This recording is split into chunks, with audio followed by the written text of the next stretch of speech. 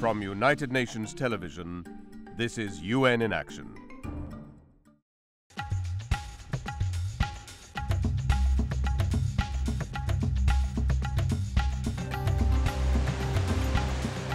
The Panj River snakes its way through the western Pamir Mountains, creating the border between Tajikistan and Afghanistan. The Tajik town of Ishkashim is known for its colorful transboundary market, where Afghans and Tajiks exchange goods and money thanks to a bridge that links the two countries. But for the people in Ishkashim, commerce is not the main source of income. Most of them are farmers working in a dry, mountainous landscape. Water is abundant here. It flows down from the ice-capped mountains, feeding into the mighty Panj River. And the challenge has been bringing the water to the farmland. Thanks to a network of canals built over time, Ishkashim has long been an oasis of green fields and orchards in the midst of the arid mountains that surround it. But recently, access to water has become a serious problem for farmers like Anwar Ali Dodo.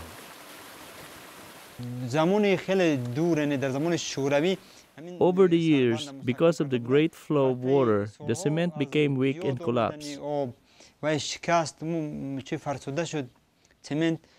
It was clear to people here that we had to fix it. Otherwise, we would lose our lands. This canal was built several decades ago when Tajikistan was part of the Soviet Union. With the canal broken, Anwar and the other farmers could no longer irrigate their lands. But they lacked the resources and coordination to fix it. A team of Tajik and international experts and officials have been visiting Ishkashim over several years as part of the High Pamir and Pamir Alai Sustainable Land Management Project known as PALM. Murad Ergashev from the PALM project. Our objective is to use this land sustainably in order to reduce the level of poverty in the region. Backed by the Global Environment Facility, PALM is a project implemented by the UN Environment Programme and the UN University. The project team studies the way people in the Pamir Mountains use and manage their lands. Nevelina Pachova from the PALM project. Most of the um, irrigation infrastructure in the region, currently it is not uh, very efficient. Uh, uh, there's very little water is actually reaching the, the croplands where it's needed. The villagers discussed their issues with the researchers and decided to take action.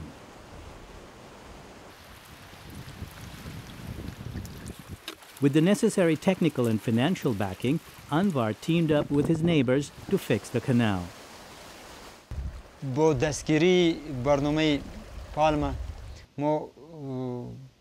With the support of the PALM project, we were able to reconstruct over 2,600 meters of the canal, improve its dangerous parts, and strengthen the dike. The villagers have also set up a community fund to pay for future maintenance. With the Panj River once again flowing through the canal, people in this remote mountain region can now irrigate their fields and provide food all year round.